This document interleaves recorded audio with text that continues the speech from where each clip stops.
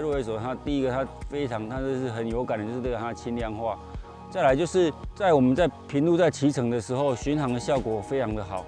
非常轻巧，然后加速很加速性很好。我要加速在抽车的时候啊，其实把回转带起来的时候，速度速度就出来，不用很刻意的用力的往下踩。我们就觉得这一条胎它在路感上面就的表现，就对我们来说就是蛮惊艳的。那像对上了小杨哥杨宏明，他就有拿这一条胎来骑一日双北这样的挑战，就是两百多公里，然后这一条胎它在速度维持跟滚阻上面是表现是非常优异的。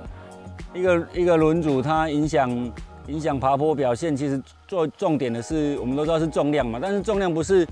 重量不是整组的轮子轻，它表现爬坡的表现就会好，而是外圈要轻。那 S L 它这个很轻的外胎，呃，像这一次我就把这组 S Hiro S 的外胎装在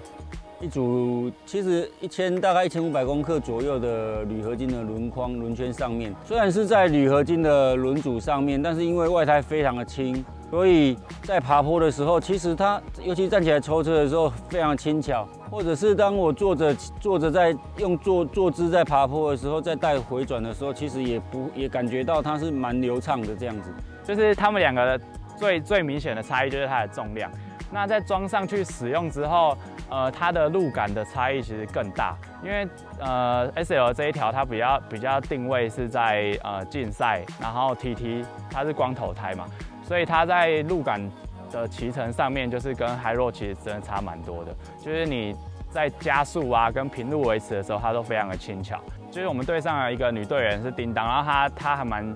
喜欢爬蓝色公路，那他有用这一条胎去骑蓝色公路，他觉得这条胎在爬坡上面的表现也非常令人惊艳，就是它整体骑起来的感觉还蛮轻巧的。所以我觉得它是一个算是呃竞赛等级的。外胎这样，然后爬坡跟平路都是非常好，都是非常实用的。